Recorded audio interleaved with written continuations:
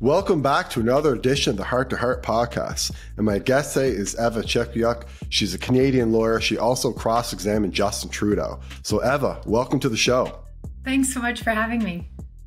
So, there's a lot of different reasons why I want to chat with you today. I've been following you on Twitter for a long time. And there's actually been a lot of recent news as well that I want to chat with you about, especially about the, uh, the 173 million going into the vaccines. And, you know, we don't really know where that money is uh, is going or if they even produce any vaccines from that facility. So there's a lot of things going on. But, you know, where I wanted to, to start, uh, I'm sure, you know, all your podcasts start this way, but, you know, cross examining Justin Trudeau. So, you know, that's a, it's a really big deal. So, how did you come to uh, cross examine Justin Trudeau? Well, you know, it's really interesting because I was involved from really early on with um, representing some of the more pertinent and well known protesters in the Freedom Convoy in Ottawa. Um, I was in the middle of it in Ottawa, um, but nobody knew who I was, which was fine. It was actually nice to be in the background and lots of heat, lots of attention. And I don't think we've ever seen a more divisive issue in Canada than with the vaccines and then the protest.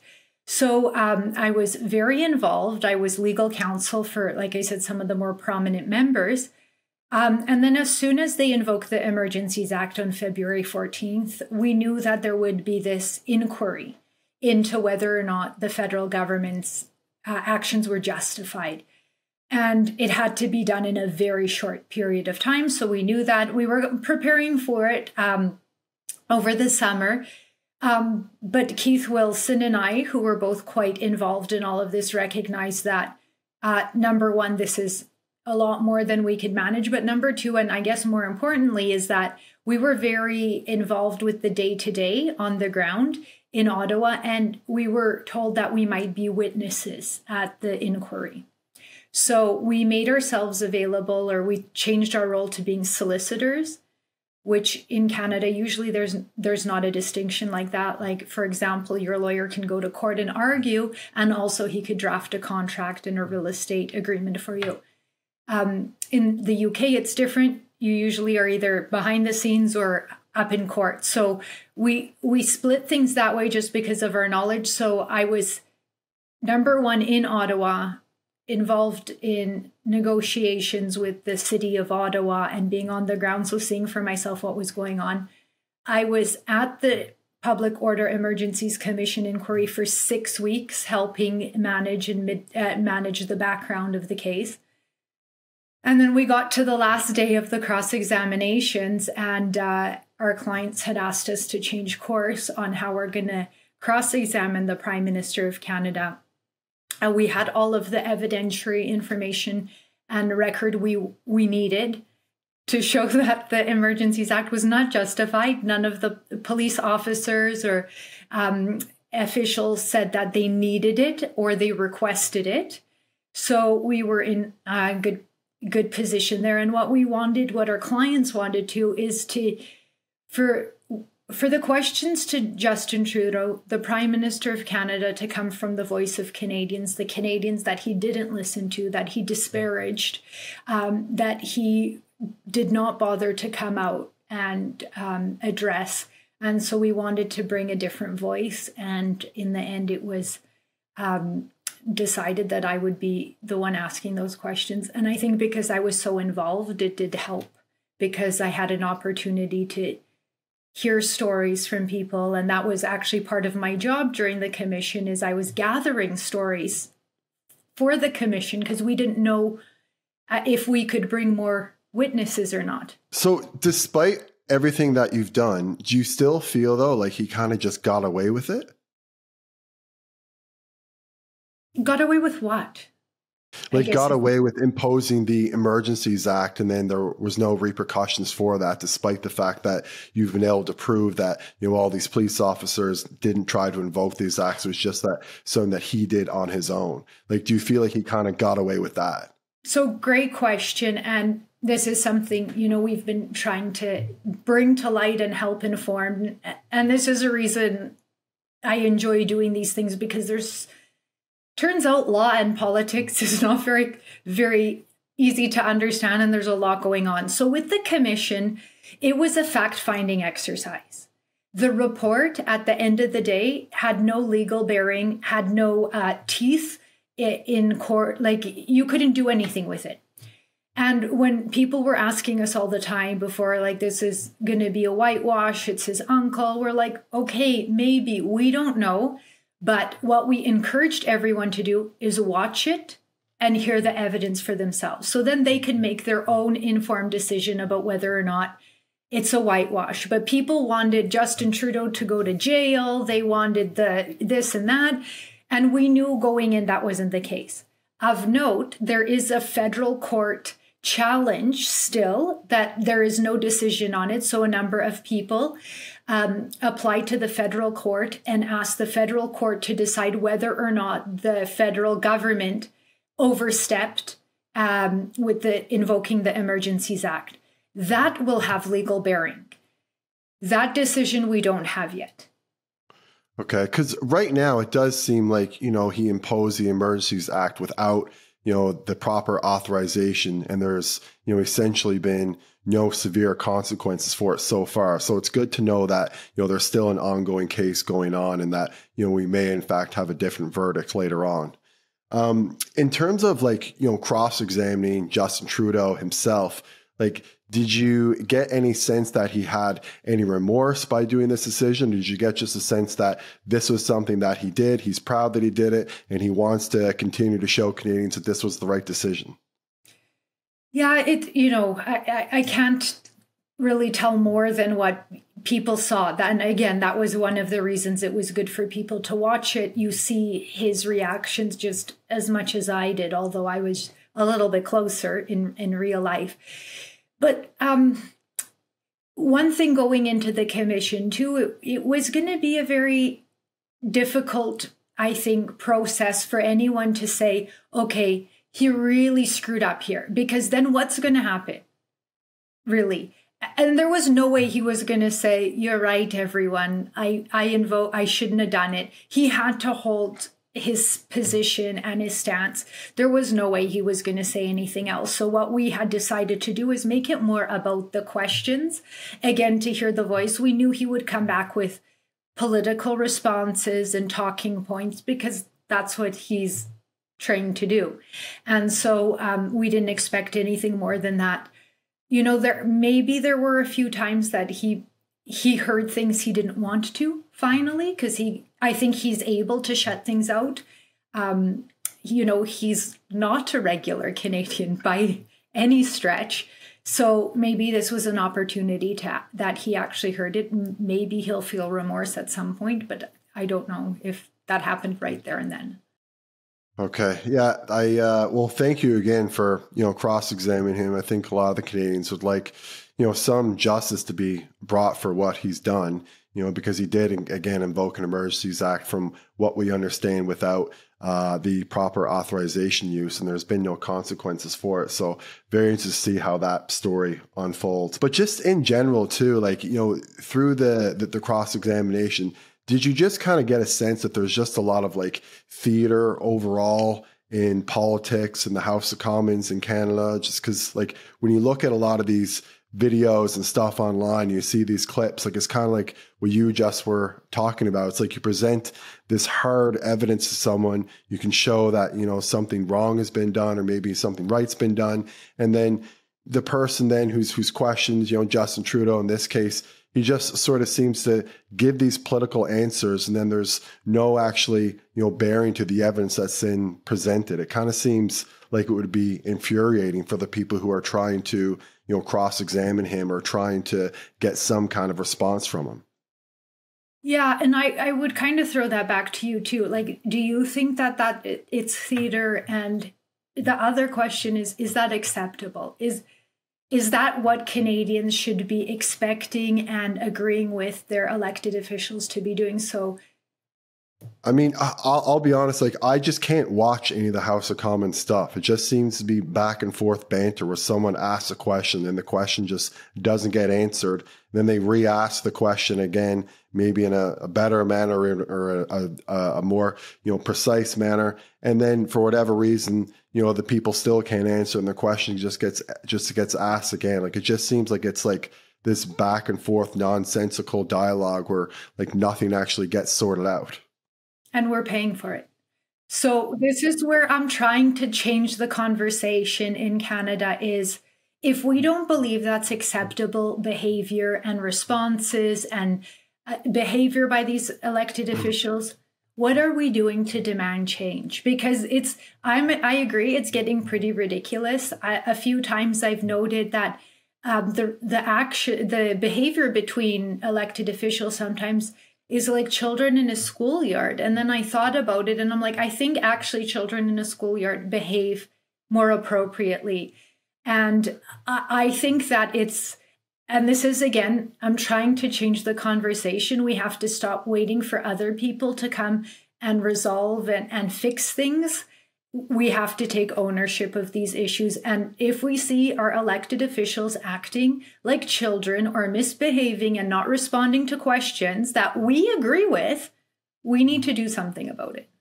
Yeah, and, and I won't harp on it too too much further, but it's just like I remember there was a time when Pierre Poilievre was asking, you know, Trudeau or someone in the Liberal cabinet, you know, how much money was spent uh, on I'm not sure it was with healthcare or you know the military or whatever it was, and they just couldn't give them a number. And he said, "Can you just give me a number?" I don't know how many times he asked the question. It must have been close to half a dozen times, and he just would not give him a number. And it's just so infuriating as a Canadian to watch that. And so, you know, that's why, you know, like for myself, I've just sort of at a point now where it's not worth my time for me to watch something like that. Like, I'm not just going to watch someone ask the same question over and over and then get no response. So it's funny you mentioned that one because I'm pretty sure that clip is him asking MP Randy Boissonnault, who happens to be um, my MP.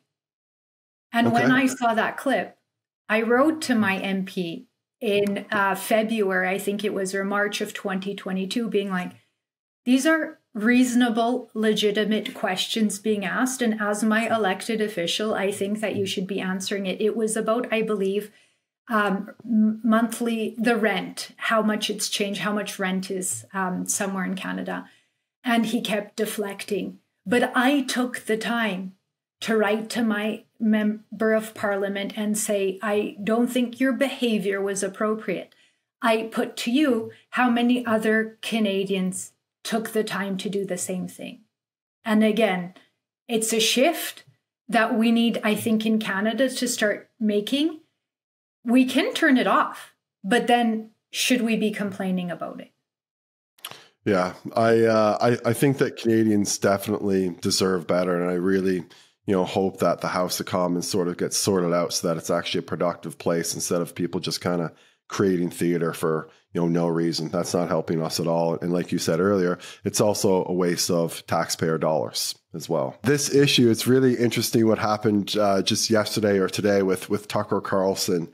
Um, so, you know, I like Tucker. I understand some people don't like Tucker, but you know, like he, he's he's had some great interviews.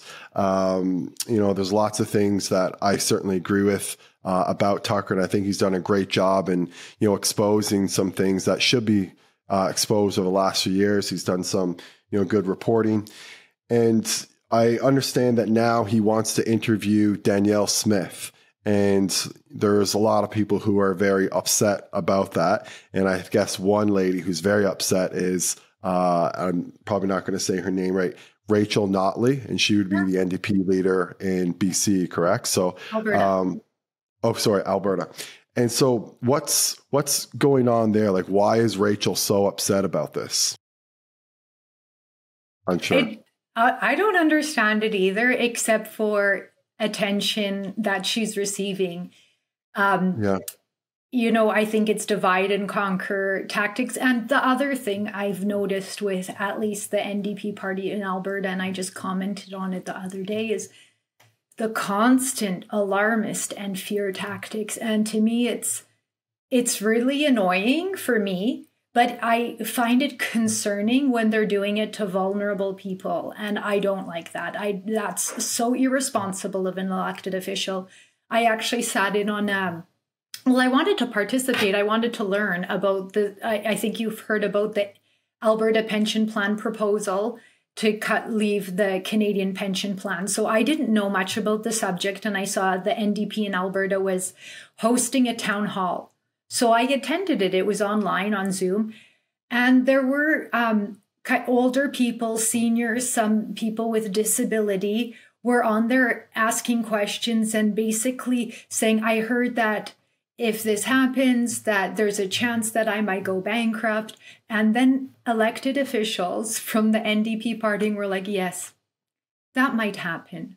And I was like, why are why would you say that these people are already like anxious, nervous, like older?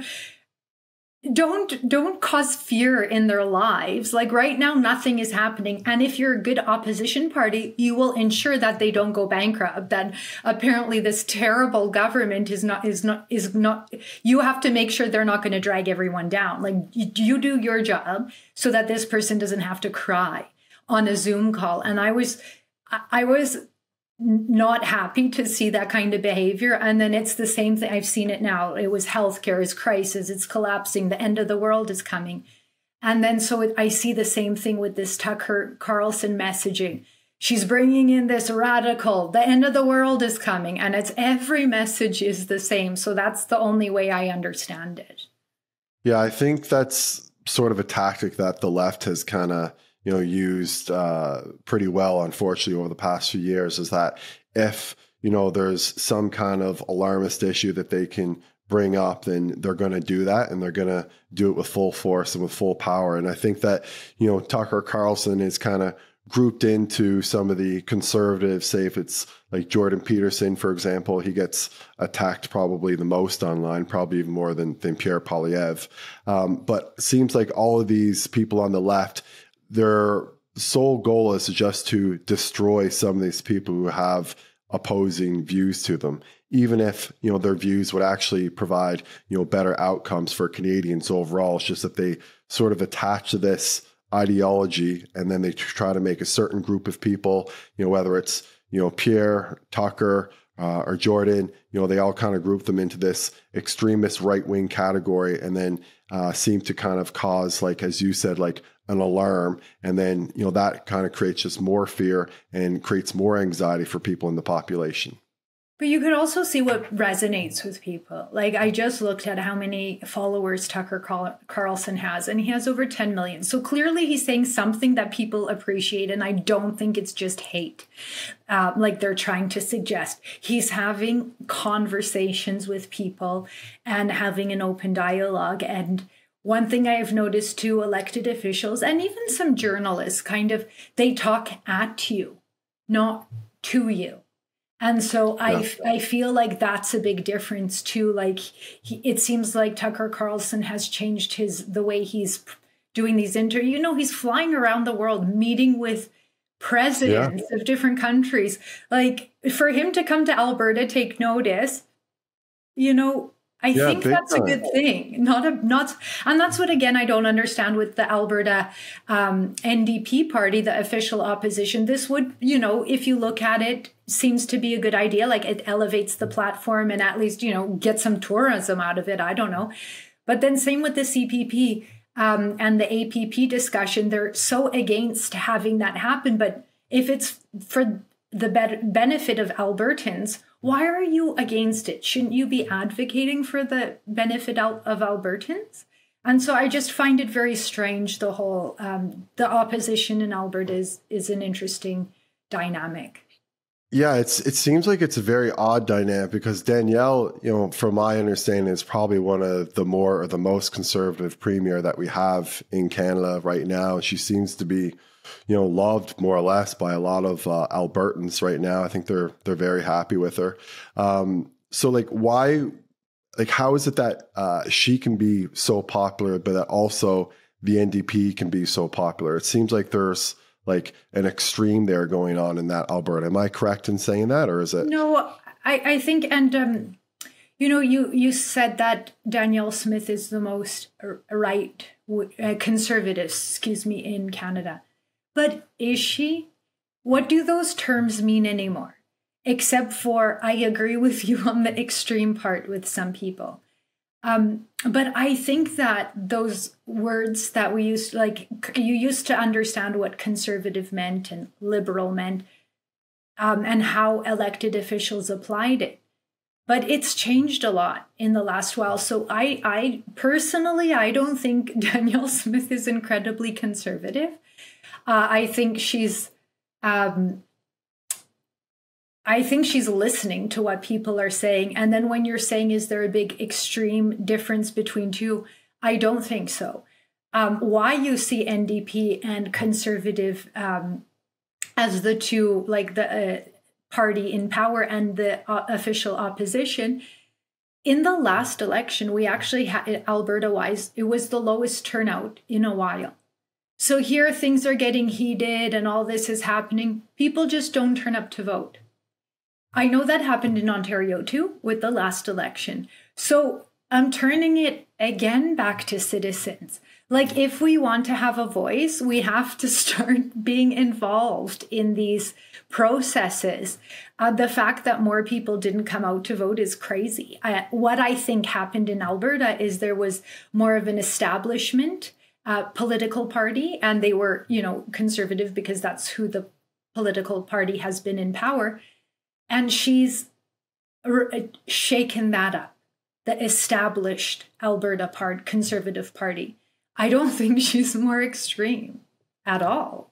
Like I, she hasn't said any, and that's what like the media says it all the time. But tell yeah. me, like, ex- show me an example where she's been like, okay, well, everyone's going to church Sundays because that's the conservative way or whatever, you know? Like they just make these suggestions, but there's no backing for most of that. Is what I yeah, and, and, and I'm just kind of guilty of that myself because I just kind of like you know assumed that she was you know more or less like the more you know conservative premier, but you kind of don't feel that way, and maybe there's you know, I'm sure there's obviously big differences. Maybe there's less of a difference or in the extremes, you know, than than I kind of suggested before.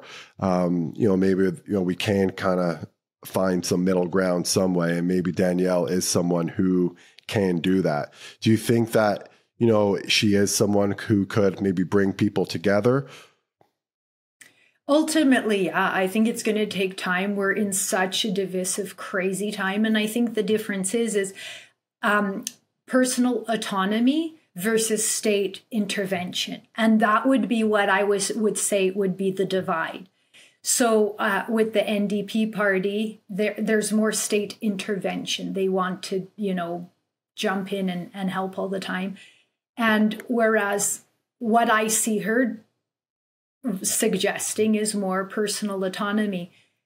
And I think if we understand that personal autonomy is helpful for everyone in the end it's not it's not neglecting the vulnerable.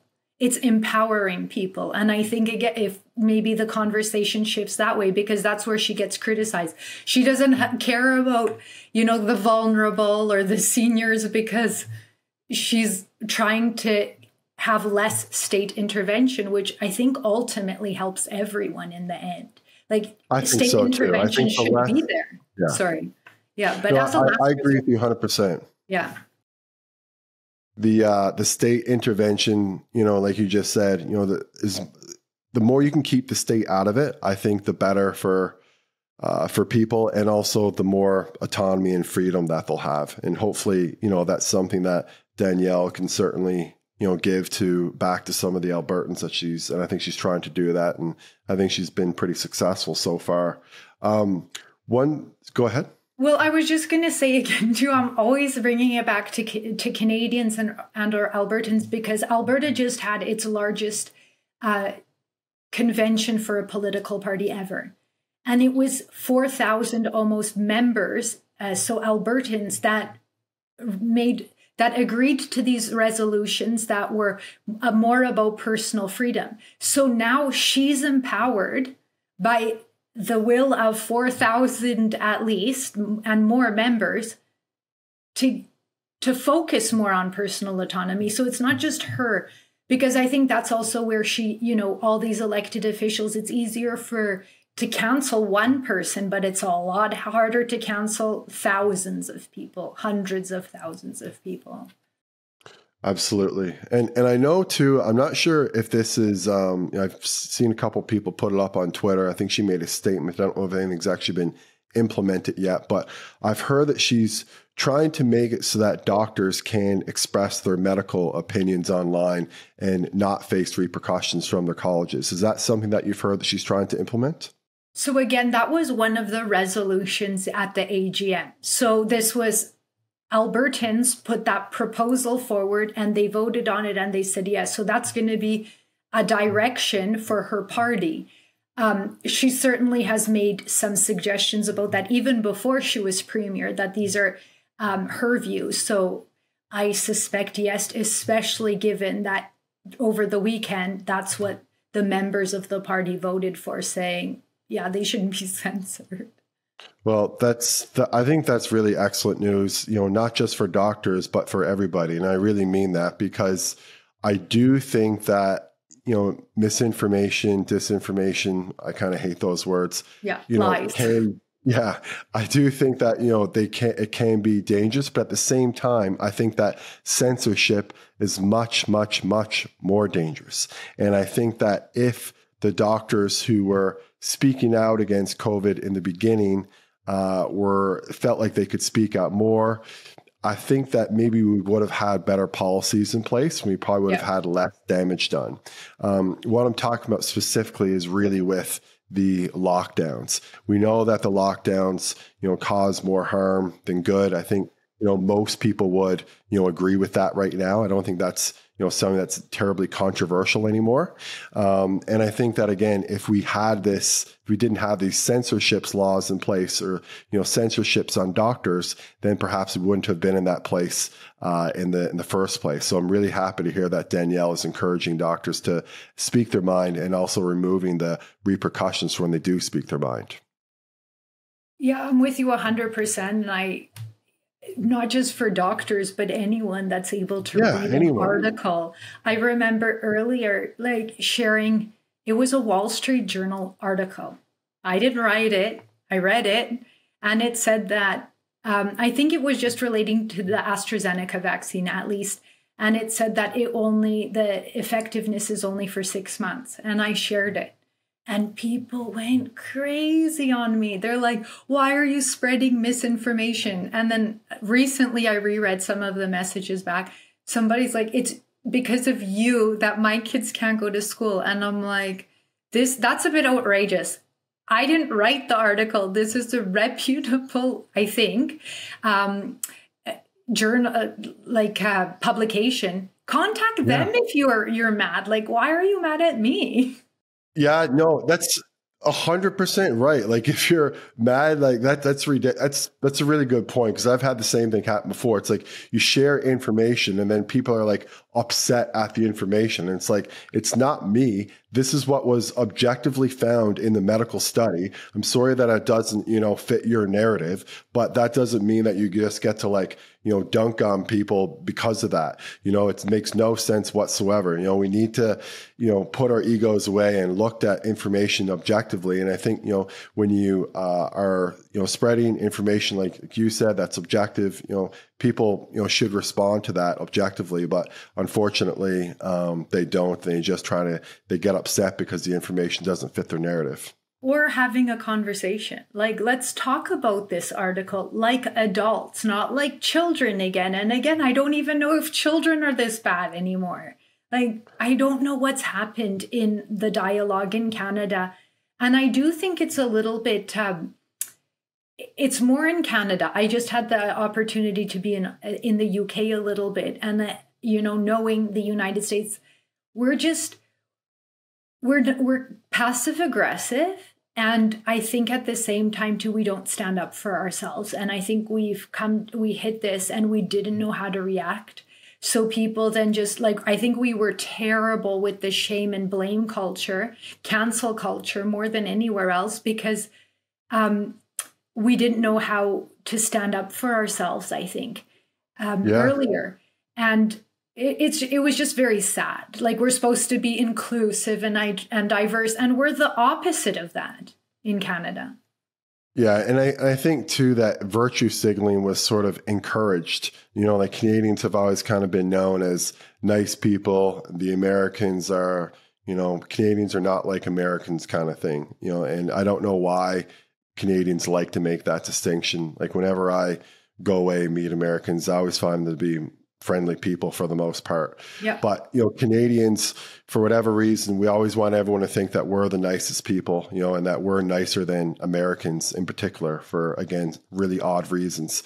Um, and I think that just got perpetuated and perpetuated through the media. And now you look at social media, and you know, people are basically just trying to virtue signal in their Twitter bio. You know, half the people in Canada, their Twitter bio is going to be like vaxed, boosted he, him, like, you know, just BLM, whatever it is. Like it just keeps going on and going on instead of just, you know, saying who they are or what they represent. And it's fine to, you know, have those things in your bio, but you should have it there for a specific reason. And you should also shouldn't be, you know, shaming other people, like you said. Like a lot of these people who, you know, virtue signal about being vaccinated, for example, then they would shame other people who say we're not vaccinated. And, you know, that's something that I don't think is a nice or an empathetic thing to do, yet it's something that was perpetuated uh, throughout social media, throughout the pandemic. And there was a lot of people who were, you know, virtue signaling.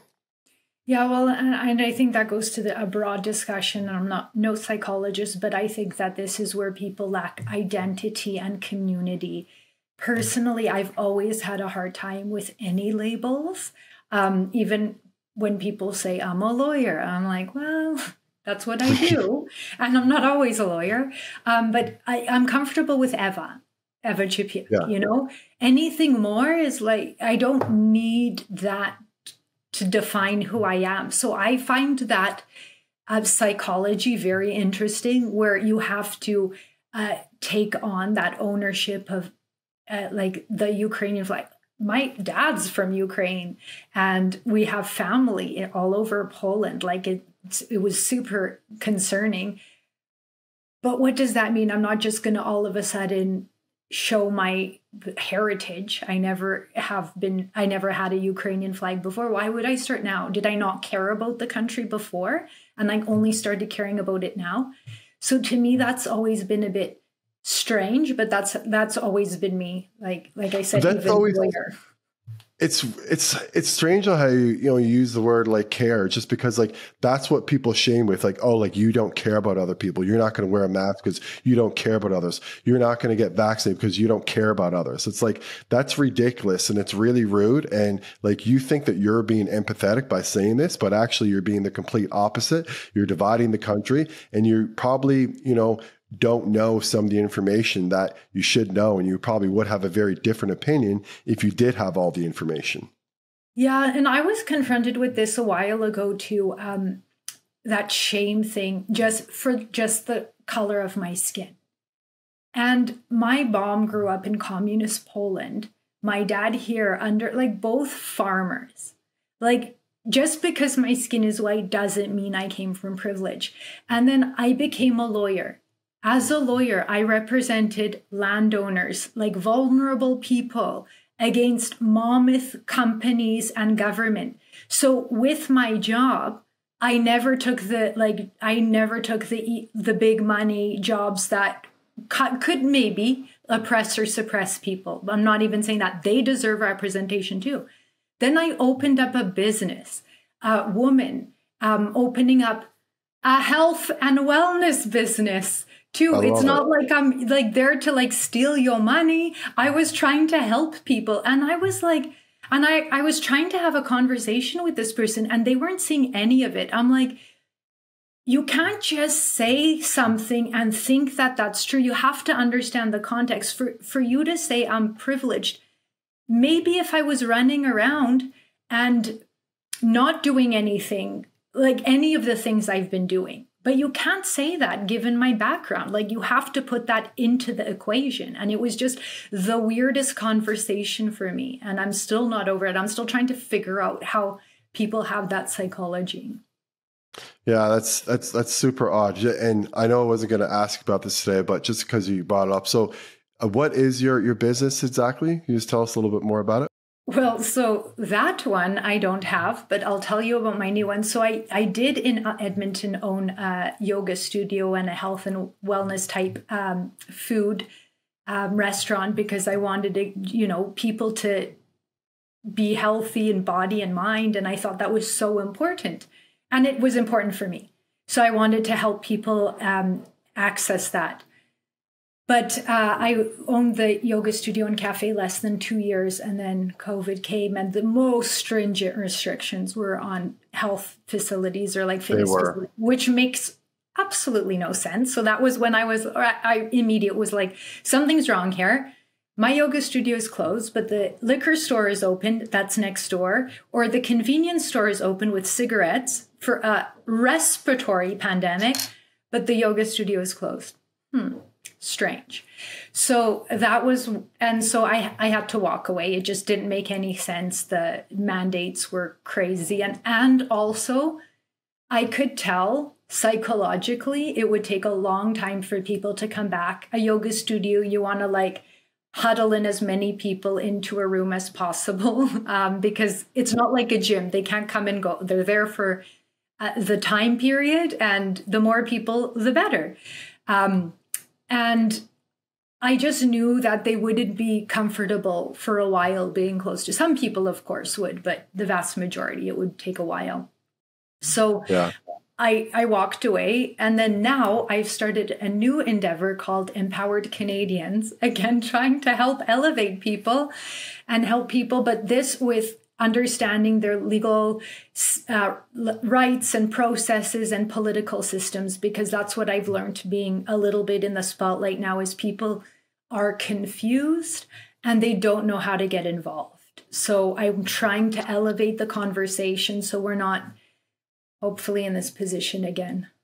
Well I think that's amazing that you're doing that, you know, trying to empower other Canadians. It seems like you're always trying to just do the best thing, the right thing for people. And so, uh, you know, it's, it's fantastic to know that there's other, you know, people out there that are trying to help others. And I think, you know, that just kind of gives people, uh, a good kind of sense of well-being you know? We always hear about so much destruction and you know death you know in the news. And so uh, you know people always talk about the world ending and stuff like that. And so it's just good to hear that you know there's still good people out there in the world who are still trying to do good things. And we definitely need more people like you. So i appreciate you uh, you you know starting that that business. I'm definitely to check it out online. I know i've seen a couple of tweets about it so I'll, I'll check it out more for for sure um, so one thing that I did want to ask you about, speaking about your your Twitter account, because uh, I, I, found it on your Twitter. So there was like 173 million dollars were put into a vaccine facility. Was it in in Quebec?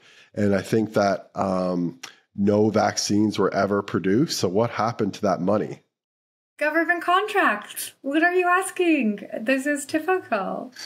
No, I'm kidding. And to be honest, I don't know oh, too much about it. I kind of uh, retweeted that one. I think I just did. But that came up, I think, two years ago or so. They were making a big deal about this um, lab, millions of dollars going into it. And then, yeah, they've closed their doors um, in less than two years with nothing being produced out of it. So, and again, I know you said you're you're not a complete expert on this particular uh, subject or, or this event, but is it possible then that like basically 173 million dollars were just wasted?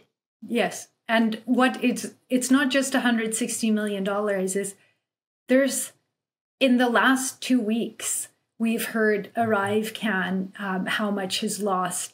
Um, it's on every department, and it's bonkers. And this is where, again, I'm saying Canadians need to really start asking questions about what the hell is going on.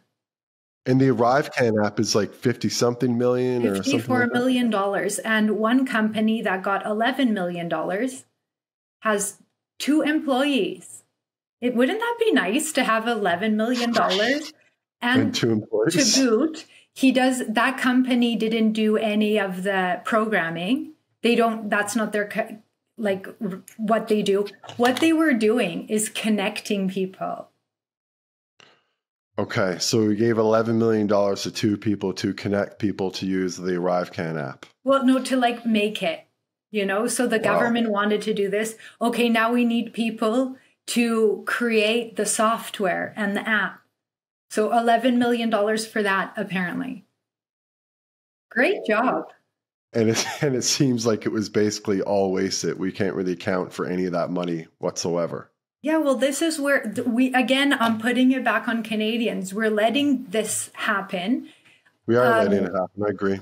Yeah, we just need to start asking questions. Like, if you see an article, a National Post or whatever, with this information, you could forward it to your elected official and be like, wow, what is going on? Can you please help me understand where the money went? and what you're doing to address this because I'm not happy with this as your constituent. And I think that we're not doing that. So, I, yeah, I, I, I agree 100%. One area where I think that some people are being vocal, but we're clearly, clearly still not being vocal enough is the carbon tax. Because mm-hmm. I know that that's just absolutely killing some people.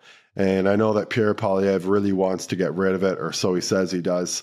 So, you know, why do we have this carbon tax and what can we do to try to get rid of it other than get Pierre Poilievre elected? Yeah, right to your elected officials. And I think that's such an easy and good one. Why are you giving a rebate to one part of the country and not the other part? It's not based on income. So there's people in Alberta with less income than the people in Newfoundland, and they have to pay the carbon tax. It's the most ridiculous uh, policy, and this one is an easy one for people to contact their elected officials on and and show the hypocrisy. Be like, look, I'm barely managing in Manitoba, and you want to tax me more for this? How am I supposed to heat my home? But is anybody doing that? I don't I don't know. I know I had Aaron Gunn on here maybe a month or two ago. I'm not sure if you're familiar with with, yeah. with Aaron or not. Yeah. So um, Aaron was talking about this a little bit, and he was also he had an article I think recently or a video where he was talking about the carbon tax and then uh, the issue with natural gas and that like it is going to affect people differently across Canada. Um, like the Atlantic provinces and Ontario, we're going to be affected differently than the rest of Canada. Um, is that something you're familiar with or, or, or could speak about? Uh, not specifically, no. Okay. Yeah. Okay. Uh, yeah. I forget exactly what what Aaron was was saying, but it was something to do with carbon tax, and you know, if you had natural gas, um, there was, and, and if versus if you didn't have natural gas, so you know, it wasn't necessarily going to affect all Canadians um, equally. It was going to affect them disproportionately based upon what they were using or whether or not they were using natural gas. So it just seemed to be like a, a play that was put into place that, you know, uh, was the message was it was going to affect everybody equally. But if you look at it, it seems like people are not affected equally well, overall. Like everyone needs to heat them their home. So yeah.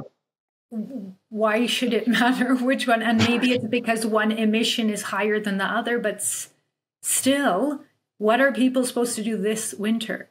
Like they're not going to yeah. go out and change their whole heating system.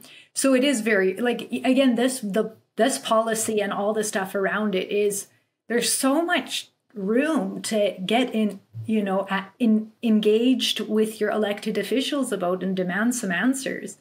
Um, so yeah. I, I I'm I think it's on Canadians to do that. Yeah, I, th- I, think it's on on Canadians too, and even myself. Like I've admitted before, like before three or four years ago, I didn't follow politics too too much. Like I, I and the reason was was because I kind of just figured maybe a little bit naively, but and maybe wrongly so that like you know it doesn't really affect me that much. Like what whoever gets elected, like I'm just gonna wake up the next day, go to work, and hang out with my friends and everything's going to be the same, you know. Um, but now things are different, and you know clearly who you elect is going to affect your life, and because they are making decisions that affect my life, such as lockdowns and different policies, vaccine mandates, lots of different things. So um, yeah, Canadians do need to get more more involved. Yeah, and it affects every aspect of our life. Like for roads, sewers municipally like it does affect us we just It does. It does. You know, I, I understand that now. Yeah. Um, one thing that I wanted to to ask you about, Eva, uh, I don't I don't didn't see this recently on your Twitter, but I was just wondering if you knew anything about the ARC conference. You just kind of seem like a person who would, you know, be involved with this and, and would be an asset to it. So I was just wondering if you had any involvement with the ARC conference. Is it something that you or maybe want to go to next year or yeah, well, maybe if they hear it, um, I, I, would have been happy to be involved in it. Um, I, I, wasn't invited. I, I wasn't there. I did hear about it um, a little bit, um, but I, I don't know exactly everything about it. So it'd be interesting to see what they come up with. Okay. Yeah. Well, one of my uh, pretty good friends there, Rav Arora, and mm-hmm. uh, he's probably going to try and I think he's going to get me to go um, next year. I think I can say that non-confidentially. We'll see. And so I'd like to. I'd like to next go for sure. Next year is a long time away, so. It, it is, it is, but maybe you'll be there too. It'd be, it'd be great. I think you know they need more people like yourself there, just because you know for people who who are not uh, aware of what the ARC conference is or, or, was, it just happened I think a week or two ago in in London, uh, England, and essentially you know what they're trying to promote it is as something that's um, you know an antithesis or something that's opposing to the WEF, you know, and so uh, Jordan Peterson I think was probably the head of that or seemed to be anyway, and he has a lot of people know uh, involved. I'm sure that you would be very familiar with like Doug Murray and a bunch of other people like that who. Um, you know, I guess are very concerned about the state of the world and WEF, and they want to do something so that there's people who are, you know, reasonably conservative or, you know, just in the middle overall um, on the on the spectrum. And uh, unfortunately, you know, we don't have too many of those people in power right now. And maybe with the ARC conference, we can, you know, generate more um, more content and just more um, exposure, and then people will be able to see, you know, that there is there are other avenues that we can go down, and there are people who are, you know, uh, who have a center right or a center view uh, with reasonable views, and uh, hopefully that happens at the ARC conference. But um, we'll see what happens. Yeah, and and I'm with you. It seems very interesting. I am a very action oriented person, and that's why um, with Empowered Canadians it's uh, I've actually developed a civics course where you know people learn about the history of Canada, um, what the charter is, because I think we've talked a lot about the charter in the last two years. I think many haven't read it or read any of the decisions that came from the charter uh, cases.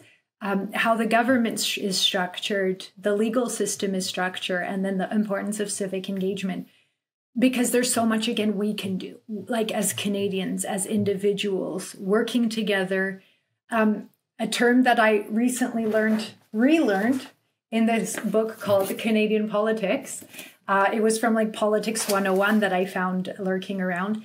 And right in the first few chapter first chapter first few pages it talked about pressure groups. And a pressure group is just like moms coming together and affecting change. Like the whole um, MAD program in the United States, drunk against drunk driving, that was mothers came together yeah. because some sons were killed or I don't know the whole backstory, but that was a pressure group, and then they worked on the on the government. We don't have to just wait. That's a good example. Very good yeah. example. And it doesn't have to be like big pharma, the only one talking to. They're just more effective, and yeah, they have more money, but that doesn't mean we can't be effective. Like look at the convoy; it, it was yeah. able to raise ten million dollars twice. I'm not saying that's going to happen again overnight, but we have to be a bit smarter and more strategic as Canadians too.